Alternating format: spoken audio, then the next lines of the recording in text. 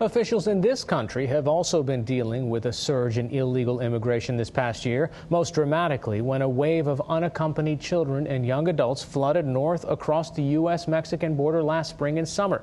Many were detained and faced possible deportation back to their home countries. But as special correspondent Spencer Michaels reports, those who made it to American cities face other challenges in their new lives. Nearly 100 minors who came to the U.S. without their parents make up about a quarter of the student body at Oakland International High School in California. Altogether, nearly 60,000 unaccompanied minors were caught at the border this year. Most of them are from Honduras, Guatemala, and El Salvador. Protests both for and against the Obama administration immigration policies greeted their arrival. When apprehended, many of them claimed fear of gang violence and persecution in their home countries. So they were allowed into the U.S. pending a hearing in immigration court.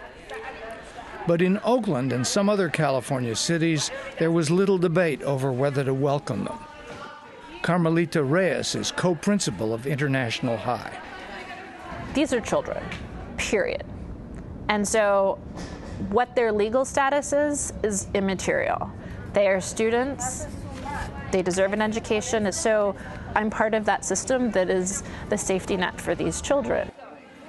There's a network of schools like Oakland International High in several American cities.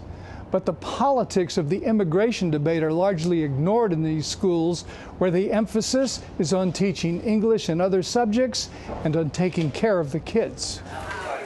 Okay, aquí la primera pregunta es cuánto te pagan. 17 year old Jeffrey Cinto Blanco is new at the school, just starting to learn English.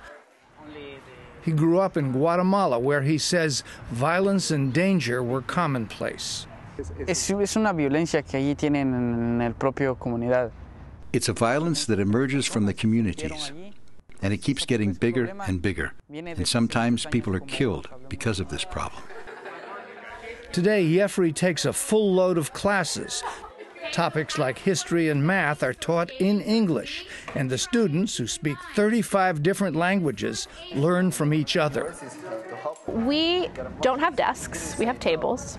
And we have very purposeful groupings so that there's some language diversity at the table a student from Asia and a student from Central America at the same table. And so English becomes the common language of that project or that group discussion.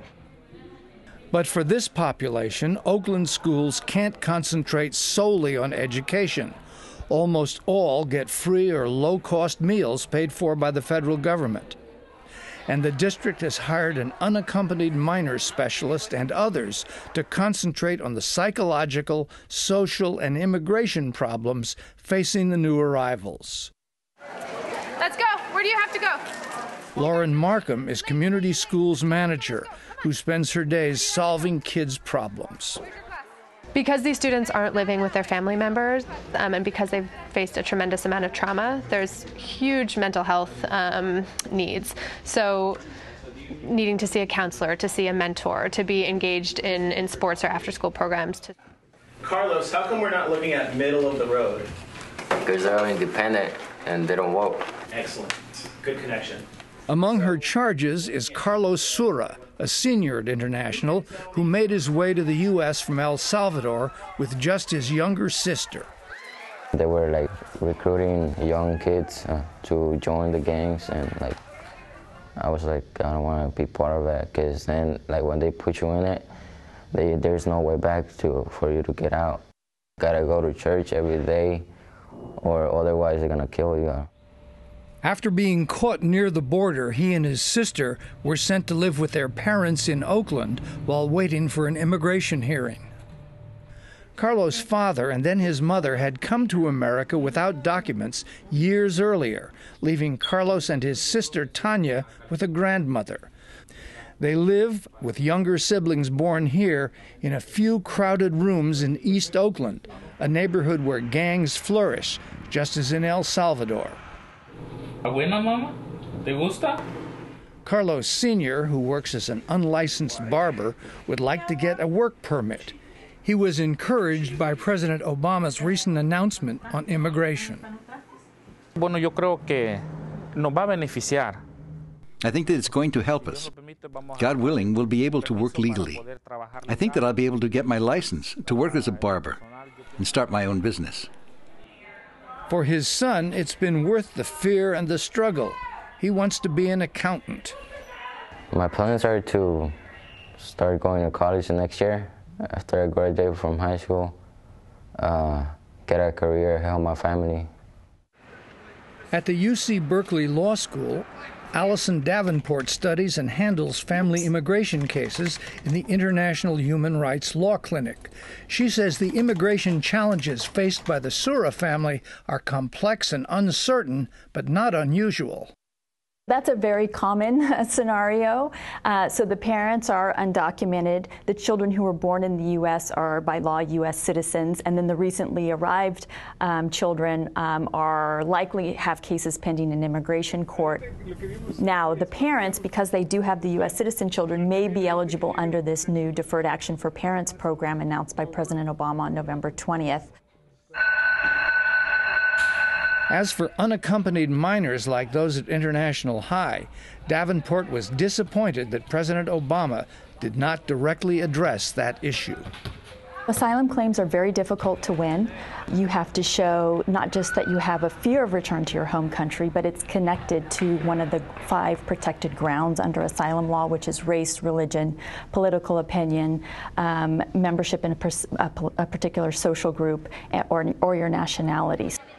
Consequently, all the unaccompanied minors at International High need legal representation. A ton of my work this fall and last spring has been trying to find lawyers for these students. When an unaccompanied minor crosses the border and is caught, they're immediately put into removal proceedings or deportation proceedings. So they are going to be deported unless they can show a reason that they have legal grounds to stay. That's the way it should be, argues Ric Oberlink, an environmentalist and an active member of Californians for Population Stabilization. He says cities or schools providing services for illegal immigrants just encourages others to come. When you provide benefits, when you provide incentives, you're going to increase the flow and you're going to put more people onto this perilous journey. It's, it's just wrong. We have a very generous immigration policy, but we, we can't be open to just anybody walking across the border. Eventually, uh, most of them should be returned.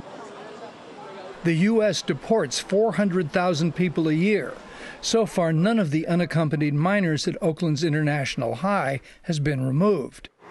So is this one a predator or prey? Predator. It's a predator. Yes. Okay. Meanwhile, the school is not anticipating another surge of students, but will figure a way to take care of them should they materialize. Spencer Michaels in Oakland for the PBS NewsHour.